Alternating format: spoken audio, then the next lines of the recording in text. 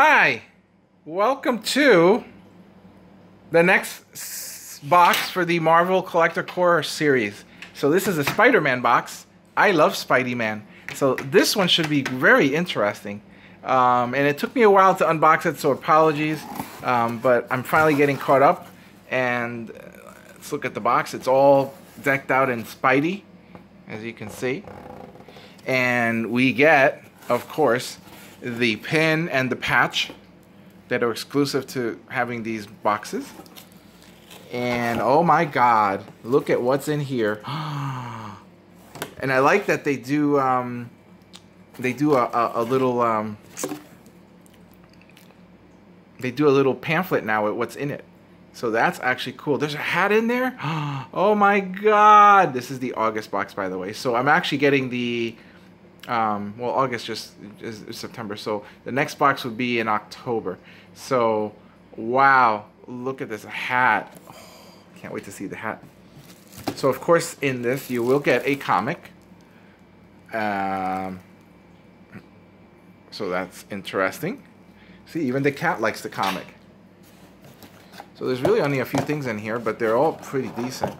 Uh, we got a Spidey-Man pop toy and we get the hat. Oh my god, this hat is so cool. The Amazing Spider-Man. that is a cool hat.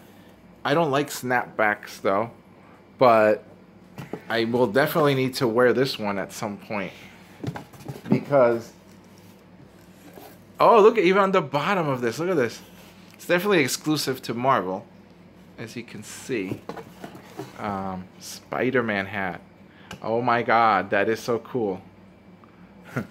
I like the hat the most. So there's only a couple things in here. Um, oh my god! It's a Fabrikation. That's what they call it anyway. So it's a plush, it's a Spider-Man's plush toy. Oh my god, this is so cool!